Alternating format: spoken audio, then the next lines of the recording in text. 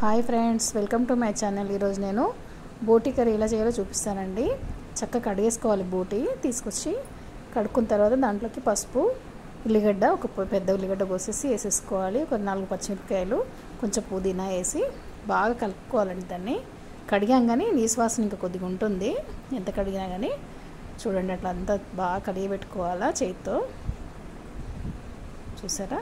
మొత్తం అట్లా చేసేసుకొని కుక్కర్లో వేసుకొని డైరెక్ట్గా ఉడికించుకోవాలండి ఫస్ట్. కొంచెం వాటర్ వేయాలి ఎక్కువ అందులో వాటర్ వస్తుంది ఆల్రెడీ. ఇది హెల్త్కి మంచిదండి తింటే అందరూ ఇష్టంగా తింటారు. ఇలా చేస్తే బాగుంటుంది ఈ శ్వాసన రాదు అందుకని ఇట్లా చేస్తున్నాను నేను. సగం గ్లాస్ వాటర్ పోసానండి. వేసేసి విజిల్ పెట్టేసుకొని ఒక పది పన్నెండు విజిల్ దాకా రావాలండి. ఒకవేళ ఉడకకపోతే మళ్ళీ చూసుకొని మళ్ళీ కూడా ఉడకబెట్టుకోవచ్చు. ఎందుకంటే ముదురుగా ఉంటే ఉడకదు లేతకుంటే తొందర ఉడికిపోతుంది. అది విజిల్స్ అయిపోయాయండి నేను తాలింపు వేస్తున్నాను చూడండి. కొంచెం ఆయిల్ వేసేసుకోవాలి.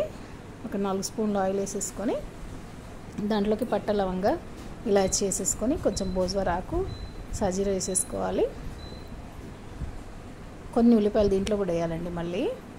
కొంచెం ఉల్లిపాయలు. ఉల్లిపాయలు బాగా వేగిన తర్వాత చుక్క కూర చేస్తున్నాను. చుక్కకూర బోటి ఇది. ఎందుకంటే అందరూ పుంటి కూర వేసుకుంటారు. అంటే ఆ, కూర టమాటా అట్లా వేస్తారు కదా నేను చుక్క కూర వేస్తున్నాను. ఇది కూడా పులుపు ఉంటుంది కాబట్టి చక్కగా టేస్ట్ వస్తుంది. టమాటా బదులు చుక్క కూర వేస్తాను నేను. ఒక మూడు కట్టలు చుక్క కూర అండి. ఒక బౌల్ అంతా అవుతుంది. అది వేసుకోవాలి. ఇది వేగిన తర్వాత అది వేసుకోవాలి. చూడండి ఇది ఉడికింది. అది వేగుతున్నాయి అక్కడ. చక్కగా ఉడికిపోయాయి చూడండి. మెత్తగా అయిపోయాయి కదా. ఇలా ఉంటుంది. చూసారా? ఇప్పుడు కొంచెం అల్లివెల్లిపాయ పేస్ట్ పసుపు వేసేసుకొని ఉల్లిపాయలు వేగాయి కదా. దీంట్లోకి చుక్క కూర యాడ్ చేసుకోవాలి. అంతా కలిపేసుకొని మంచిదండి తింటే హెల్త్కి మంచిగా ఉంటుంది. పెద్దవాళ్ళైనా చిన్నవాళ్ళైనా ఎవరైనా తినొచ్చేది. టేస్ట్ బాగుంటుంది తింటే. హెల్త్ పరంగా అయితే చాలా గుడ్ అండి ఇది తినడం వల్ల. మనం మటన్ కంటే ఇది బెస్ట్. మటన్ తింటే కనుక ఒళ్ళు వస్తుంది కానీ ఇంకా ఏమి ఉండదు. ఇది తింటే కనుక మనకి లోపల ఉన్న మన కిడ్నీస్కైనా దేనికైనా మంచి పని చేస్తాయి. రాళ్ళు ఉంటే కూడా తీసేస్తాయి అన్నట్టు తింటే అందుకని తింటారు. చుక్కకూర చూడండి. ఒక బౌల్ అంతా అయింది. మూడు కట్టలు ఇవి. చూడండి చక్కగా వేసేసుకొని పెద్దగానే మంట పెట్టుకొని వేయించుకోవాలండి. వేగుతున్నాయి కదా ఇంకా కొంచెం వేగాలి అది. ఇంకేం లేదు దాన్ని దీంట్లోకి వేసేసుకోవడం అండి మనము. లేసిన తర్వాత ఉప్పు కారం కూడా వేసేసేయాలి. వేగినాక దీంట్లోనే ఉప్పు కారము కొంచెము మసాలా పౌడరు ధనియా పౌడర్ వేసేసుకొని వేసుకోవాలి. చూసారా ఉప్పు? ఒక రెండు స్పూన్లు వేసాను నేను మీరు తగినంత వేసుకోవచ్చు.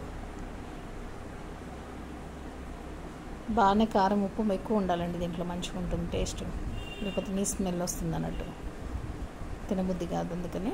ఒక మూడు స్పూన్లు కారం వేసాను చూడండి చక్కగా. నేను మేము ఎక్కువ తింటాం కదా నాలుగు వేస్తున్నాను. కొంచెం గరం మసాలా పౌడరు ధనియా పౌడరు అన్నీ వేసేసి బాగా కలుపుకున్నాక ఇప్పుడు మనం ఉడికించుకున్నాం కదా దాన్ని బోటీని దీంట్లోకి వేసేసుకొని పెద్ద మంట మీదతోనే ఉడికించుకోవాలండి. ఇప్పుడు చిన్నగా చేశాను అనమాట ఇది ఉడకడానికి. వేసిన తర్వాత పెద్దగా వేసేసి మంట పెద్ద పెట్టుకొని ఉడికించుకోవాలి. దాంట్లో వాటర్ వస్తుంది కదా వాటర్ అంతా ఇనికిపోవాలన్నట్టు. చూడండి వాటర్ ఉంది కింద. ఇలాగ మొత్తం వేసేసుకోవచ్చు వాటర్తో సహా. వాటర్ పడేయొద్దండి దాంట్లోనే ఉంటుంది అసలు ఏం టేస్ట్. బలం అన్నీ దాంట్లో ఉంటాయి. వాటర్ ఏమాత్రం వేస్ట్ చేయకూడదు. అన్నీ బాగా పెద్ద మంట మీద పెట్టి ఉడికించుకోవాలి దీన్ని. చిక్కబడుతుంది. కొద్దిసేపు అయితే చిక్కబడిపోతుంది అంతా ఇంకా దీంట్లోకి ఏం అవసరం లేదండి. కొబ్బరికాయలు అవి ఏం వేస్తారు కొబ్బరి పౌడర్ వేస్తారు కదా. గరం మసాలా అది ఏం అవసరం లేదు. చూసారా? కొంచెం మంట పెట్టి పెద్దగా పెట్టేసి మంట మూత పెట్టేసుకొని ఉడికించుకోవాలి. పది పదిహేను నిమిషాల వరకు ఉడుకుతుంది. చూడండి చిక్కబడిపోతుంది అప్పుడే. ఇంకా మనకి ఇంకా డ్రై కావాలంటే కనుక ఇంకొంచెం ఉడికించుకోవాలి. అవసరం లేదనుకుంటే మనం అన్నంలో కలుపుకోవాలంటే ఇట్లా తీసేసుకోవచ్చు. దీంతో మనం చపాతీకి అన్నంకి జొన్న రొట్టె కానీ దేని కానీ తినచ్చు. జొన్న రొట్టెకి అయితే బాగుంటుందండి. నేను నెక్స్ట్ వీడియోలో చూపిస్తాను. చూడండి ఎంత బాగుందో. కలర్ ఇలా వచ్చింది చూడండి. ఏమీ వేయలేదు ఇంకా. చాలా ఉప్పు కారం ఒకటే కదా వేసింది. దీంట్లో ఎంత బాగుంది చూడండి. టేస్ట్ చాలా బాగుంటుందండి. మీరు కూడా ట్రై చేసుకోండి. నచ్చితే కనుక లైక్ చేయండి షేర్ చేయండి. సబ్స్క్రైబ్ చేసుకోవడం మర్చిపోకండి.